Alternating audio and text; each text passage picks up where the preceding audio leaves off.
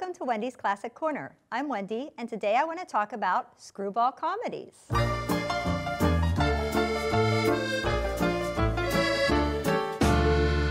want to start out by mentioning that if you missed any of our shows, you can always catch up all, on all of our episodes on my YouTube channel, Wendy's Classic Corner. You can also do a search for Wendy's Classic Corner on PCTV21.org under the Watch Live tab. If you are interested in appearing on the show to talk about classic film, please follow me on my Wendy's Classic Corner Facebook page. And now, I'd like to talk about a lesser known genre of classic film, the screwball comedy. What exactly is a screwball comedy, you might be asking? Well, let me see if I can enlighten you a little on the subject. Screwball comedies originated in the early to mid 1930s. Some point to It Happened One Night, 1934, as the first official screwball comedy. Screwball comedies were created during the Great Depression to give the public something lighthearted and amusing with escapist themes and social class critique. It is generally agreed that the, classic screwball comedy period ended in 1942. These films are a spoof on love stories, with most featuring a strong, independent female lead who dominates the male lead. There is a great deal of verbal sparring between the sexes, almost a substitution for sexual tension, which would have been censored by the Hays Code. You can learn more about the Hays Code by watching our pre-code episode of Wendy's Classic Corner on YouTube. It is said that screwball comedies were also created to fight against the boring morality the Hays Code was trying to enforce upon films. Besides featuring a strong, dominating leading woman, screwball comedies may feature some or all of the following fast paced, witty dialogue, silly situations, escapist themes, battle of the sexes, and a plot line involving courtship or marriage. I hope this brings you to a better understanding of the genre. Now I'd like to talk about two of my favorite screwball comedies. I'll start with a very cute screwball comedy starring my favorite actress, Barbara Stanwyck. Barbara starred in several screwball comedies and excelled in fast talk, wisecracking dialogue. The film I want to talk about is The Lady Eve, 1941. Besides starring Barbara Stanwyck, this film also stars another actor that I'm a fan of, Henry Fonda. Henry Fonda may not necessarily be known for comedies, but he is more than capable, as evidenced in this film. The Lady Eve is written and directed by Preston Sturges. Preston Sturges was very influential in the screwball comedy genre and was one of the few directors that would both write and direct his films. The Lady Eve is a film about a group of con artists. Handsome Harry, who's played by Charles Coburn, and his daughter, Jean, who's played by Barbara Stanwyck, as well as a variety of associates. Jean's job is to lure rich men into card games with her father, who is a card shark, and fleece them out of huge amounts of money. They often travel on ships, engaging in this and various other cons. On this particular ship, they are targeting a young, naive snake enthusiast named Charles Pike, who's played by Henry Fonda. Charles is the son of a wealthy beer maker. Charles is not interested in the family business and is somewhat introverted. He is very well known because of his wealthy family, and all the ladies on the boat are trying to catch his eye, much to his disgust. Jean is far too clever to be that obvious, and instead she trips him as he walks by and then begins yelling at him that he broke her shoe and insists that he take her up to her room to get a new pair. Charles is very apologetic and agrees to help her. Once in her room, she is very seductive with him, making him put the new shoes on her feet for her, and also cuddling with him. He is overwhelmed by her perfume and her closeness, and he is continually mentioning that he has been in the Amazon for a year, alone without women. However, when he tries to kiss her, she just shuts him down. Jean brings him to meet her father, and they begin to perpetrate their scam on him by letting him win some money in the card game.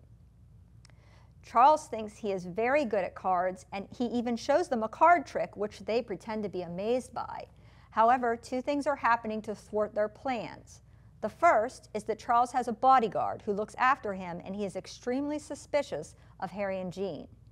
He sets about trying to find out more about them. Secondly, Jean starts to become very fond of Charles after spending some time with him and is very charmed by him. She gets to the point that she doesn't wish to scam him or take his money, and instead she wants to marry him. She tells her father so and insists he not scam Charles. Unfortunately, the bodyguard has discovered exactly who Harry and Jean are and tells Charles. He is devastated, and when he confronts Jean, she admits to it and tells him that she loves him and still wants to marry him.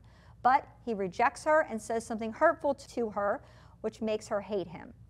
She vows to get revenge. Later, Harry and Jean run into another con artist friend who is scamming people in Connecticut by pretending to be a member of British nobility. He is living right in the neighborhood of the Pike family, so Jean stays with him in the guise of being his niece, the Lady Eve. She attends a party at the Pike home and charms the entire company, especially Charles's father. When Charles joins them, he is astounded to see her and tries to keep asking her if they have met before, but Jean slash Lady Eve continues to insist they have not to the point that Charles begins to believe her. He also continually gets caught up in a series of accidents which leave him covered in various foodstuffs. The bodyguard is also there and he is not fooled at all, but by then Charles is adamant that the lady, Lady Eve and Jean are not the same person. Eventually, Lady Eve gets Charles to propose in a highly amusing scene where Charles's horse continually nuzzles his head while he is trying to propose. They do get married, but while on the train for the honeymoon, Lady Eve invents numerous tales of other men she had been involved with prior to Charles, to the point that he gets so upset and disgusted that he gets off the train and leaves her. If you want to know what happens in the end, you will have to see the Lady Eve yourself. I suggest you check your local library for a copy. If they don't have a copy there, you can ask them to check the county system, and they should be able to order a copy to be sent to the library of your choice. You will usually get it within three to four days. So, the next film I want to talk about is one of my all-time favorite films and definitely my number one comedy or screwball comedy, 20th Century, 1934. If you have not seen this film, please do yourself a favor and get a copy of it. This film stars the queen of screwball comedies, Carole Lombard. Carole Lombard is perfectly suited to this style of film and is in several other screwball comedies. The real surprise is the serious dramatic actor John Barrymore being the other lead. Known for his great dramatic acting, Barrymore is an absolute delight in this film. He excels at playing hammy without being too over the top, and he jumps and flings himself around as if he's in his 20s, which is especially impressive because by this time the film was being made, he was in his 50s and he was not in especially great shape because of severe alcoholism. The film is further helped along by the presence of two excellent and hilarious character actors, Walter Connolly and Roscoe Karns, who were both veterans of screwball comedies, both having been in It Happened One Night. Each actor adds his own comic flair to their role, and most specifically, Roscoe Karns has all kinds of very witty dialogue. The film was based on a play called Napoleon of Broadway and was directed by Howard Hawks. The film revolves around the theater and a man named Oscar Jaffe, who is played by John Barrymore, who is a fam famous theater producer with numerous shows on Broadway.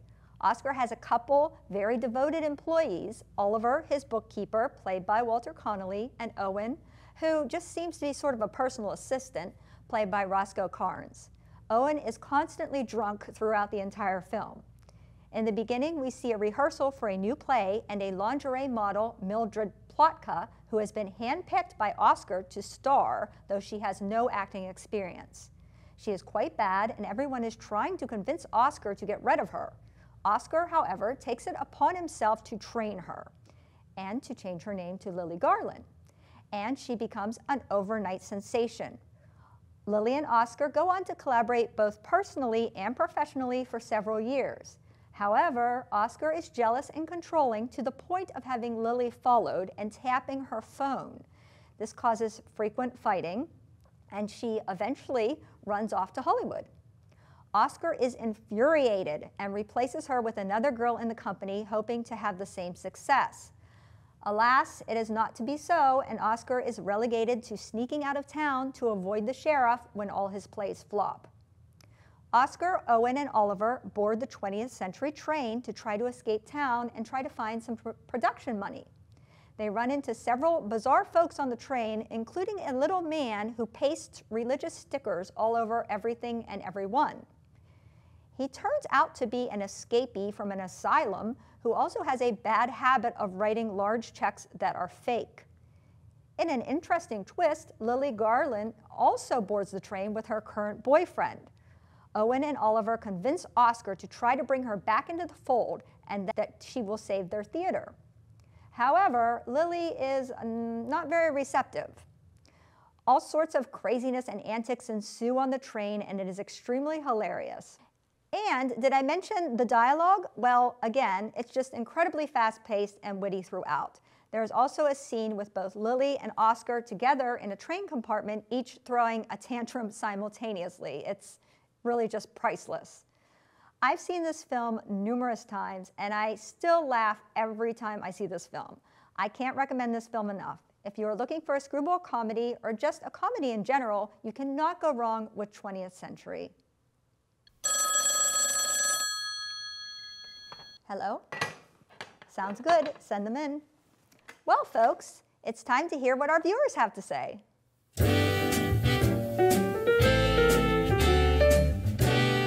First up, we have Bob, who is joining us on Zoom from Dallas. Hi, Bob. What screwball comedy do you want to talk about today? Hi, Wendy. Well, I'm going to be talking about Ball of Fire from 1941, directed by uh, Howard Hawks and written by Billy Wilder and Charles Brackett. Okay, uh, we become accustomed to live-action remakes of Disney films over the over the past year, uh, past few years. Uh, but what if I were to tell you that the first live-action remake of a Disney film wasn't done by Disney? And as a matter of fact, it was uh, done in the 40s with Gary Cooper and Barbara Stanwyck. This is Howard Hawks and Wild, Billy Wilder's fanciful take on Snow White and the Seven Dwarfs. it starts in Manhattan. Professor Bertram Potts and his seven colleagues are employed by the Totten Foundation and are working on a comprehensive encyclopedia of numerous su- subjects. Uh, they start each day with a stroll in Central Park. They might as well be singing "Hi ho, hi ho, it's off to work we go," and um, then go back to their their mansion at the Totten Foundation and buckle down and get to work on the dictionary. Potts is somewhat younger than his colleagues, all of whom appear to be married to their uh, field of expertise, their specialty Yes. And all of whom also appear to be virgins, including the one who was uh, married previously. Uh, the marriage was never consummated. Uh, they are the house is overseen by Mrs. Bragg, who is a very, uh, very tough taskmaster and makes sure that everything goes along okay. A garbage man appears and asks the scholars for some help with a uh, quiz that he's working on.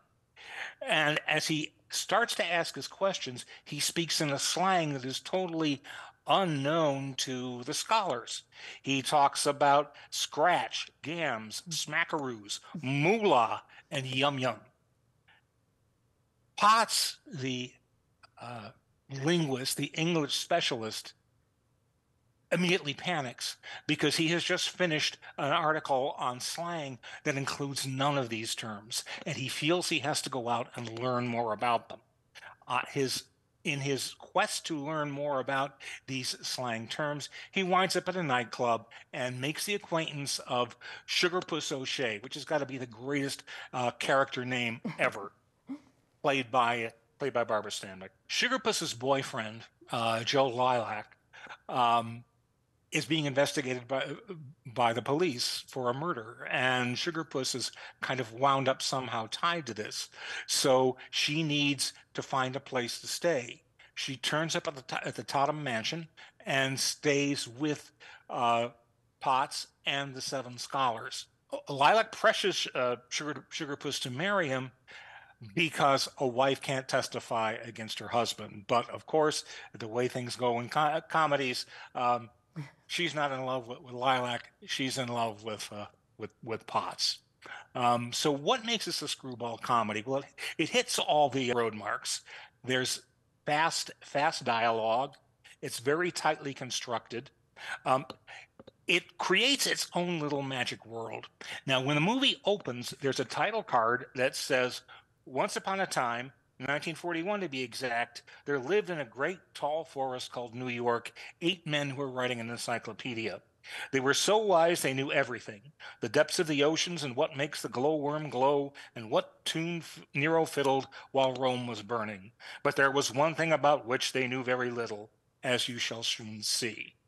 So it sets up this fairy tale world. I mean, it's set in New York, and there's no danger at all to New York. Um, there are people waving guns around, but there's never a feeling that somebody's going to get actually hurt. Um, there's a, a, wonderful number in the film with Gene Krupa, who, uh, drummer Gene Krupa, who plays a tune called Drum Boogie mm. using two matches and a matchbox. Mm. And he kind of slides them around. It goes on for a couple of minutes, and then when he's ready, he strikes the matches, and that's that's it.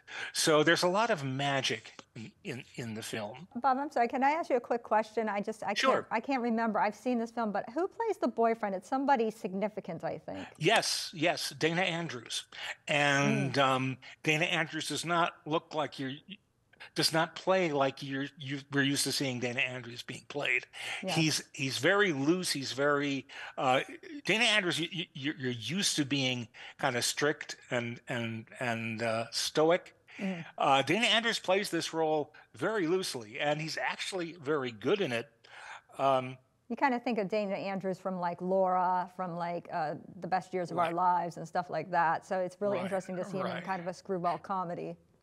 I think, and another thing about it, it's perfectly cast down to the the tiniest bit player, and it's so tightly constructed. There's not a loose joke. Um, there's no plot. There's no plot holes. There's no wormholes to go down and and and kind of uh, and kind of break the action. Um, uh, and again, as in screwball comedy, strange things happen. At the end of the film, to win back the hand of Sugarpuss, um, Potts and his uh, cohorts commandeer a garbage truck and show up at, at, at Sugarpuss's wedding uh, in a garbage truck where Potts fights for her hand. Now, on the way to the wedding, um, Potts is reading a book on boxing, so he'll know how to defend himself. And there's a great moment where uh, Dana Andrews swings at Gary Cooper, knocks him over. The book falls out of his hand. Gary Cooper picks up the book and tosses it because he knows that you can't go by the book anymore the only way you're going to win the lady is to throw the book away which which I think is uh, is is great. Uh, Cooper is really terrific. I think I think too in this, and realize that he he made this film right after he won the Academy Award for Sergeant York. Mm-hmm. And that the films that he made before this were all action pictures like Beau Geste and uh, The Westerner. And um, here he plays. He's wonderful as this naive, uh, naive um, scholar, and you wouldn't think he could do it, but damn, it's very good. Um, Bob, he, he plays in a couple films with Barbara Stanwyck, kind of that almost that same sort of character, like um, Mr. Mm-hmm. Deeds. Mean, right, right. The, the, two Capra films, the two Capra films, right? Yeah. Um, but and, and and you know, again, he he's good in this, and he's uh, he, well, he's perfect. Everybody's perfect. Um, but nobody's more perfect than Barbara Stanwyck. No. And she, and, and she is just wonderful in this role. She's the, she's she was nominated for an Academy Award for this role.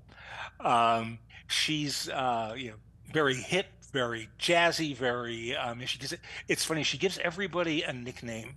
Mm-hmm and um, then she leans in, you know, hey, hey, Potsy, what are you doing? and and she she has a and, and she ends each sentence with like a, a click. Hey, Potsy. And I looked at it and I said, oh my God, that's Bugs Bunny. that's that's you know, as Bugs Bunny's character developed over the 40s, this has got to be one of the inspirations. Um, each of the seven professors that are that are with Gary Cooper, uh, you know, when Disney made Snow White and the Seven Dwarfs, he gave each dwarf a name and a personality. Here, each uh, professor has an area of expertise. And you know this is a screwball comedy because the expert on sex is S.C. Zackel. Yeah, he's he's wonderful, and I, you know, I, honestly, the, the the seven characters, the, the, the seven professors are really so cute in the film, and I, I didn't know that about Snow White and the Seven Dwarfs. So thank you so much for that information. And thank You're you very much, Bob. Uh, Barbara Stanwyck was just so great in screwball comedies, and it's just such a fun film.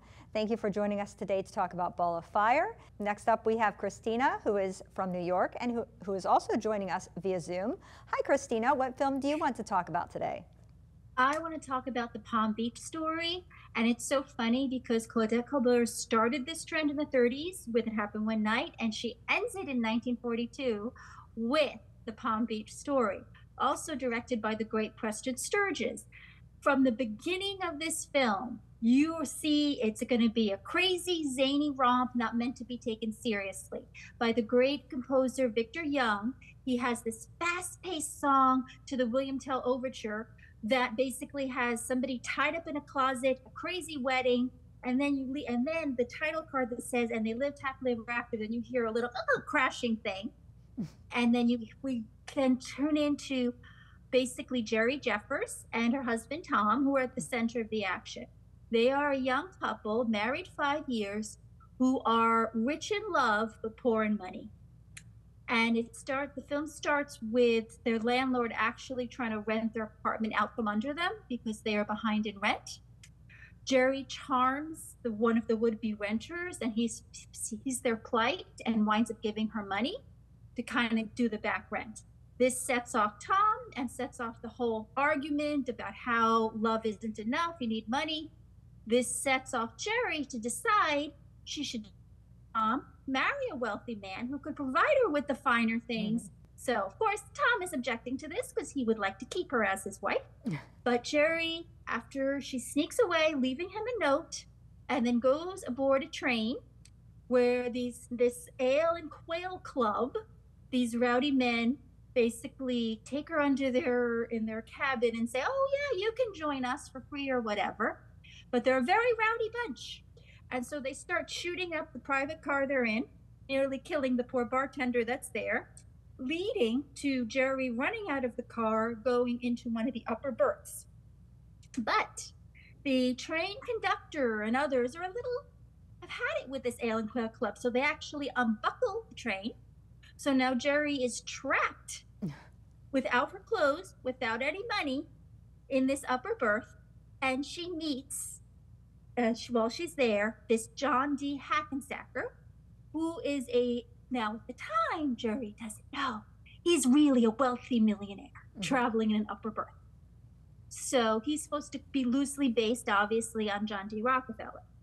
Now he becomes immediately smitten with Gerry and says, Don't worry, you i will you know we'll get you clothes we'll get you this and then there's a whole montage of him buying her these outfits and not thinking about money or price but writing in his little book.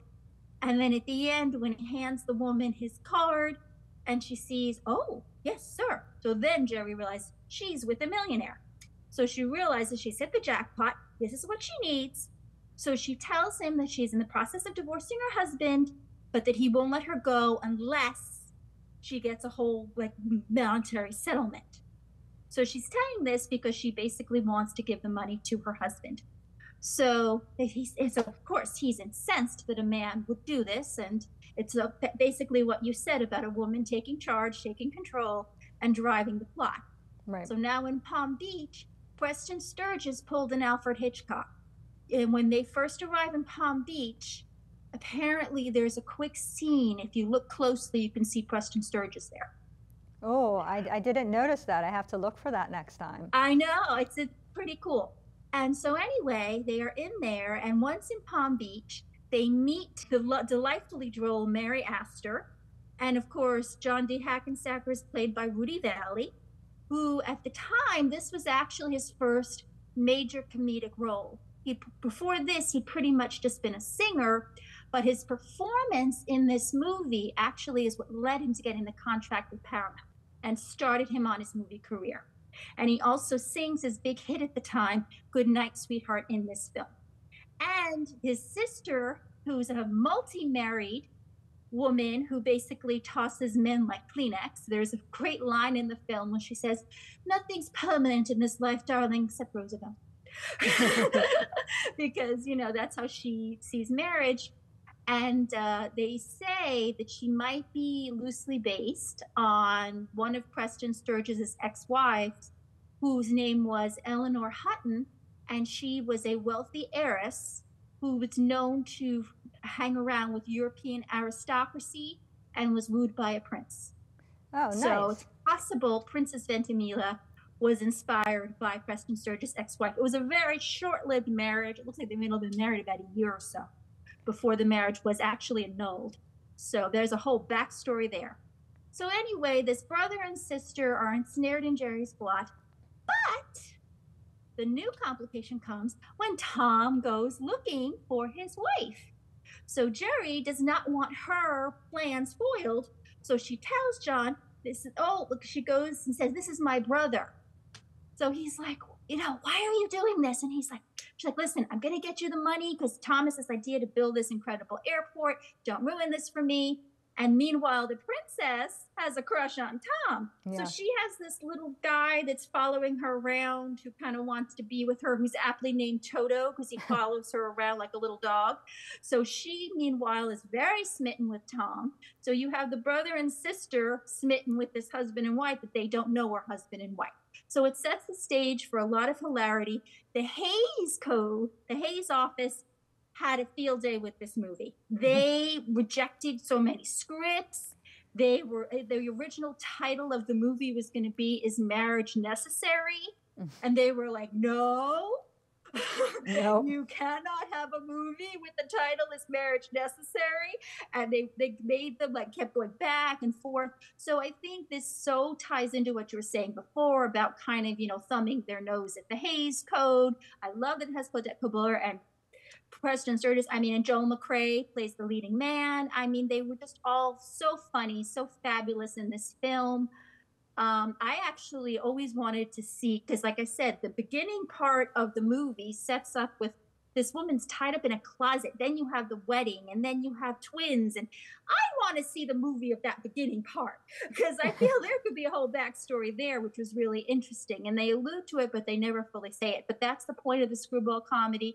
It's meant to be fun and light and enjoyable, and just turn conventions on their ear. Oh, thanks, thank you so much, Christina. Preston Sturges really wrote some of the great screwball comedies. He's a director that doesn't get enough acclaim.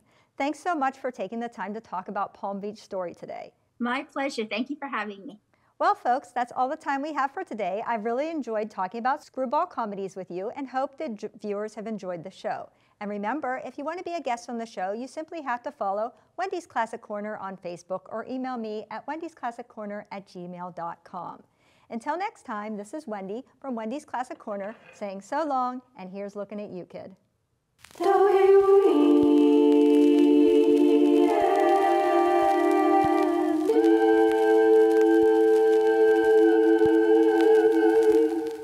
Why go anywhere else for classic movies?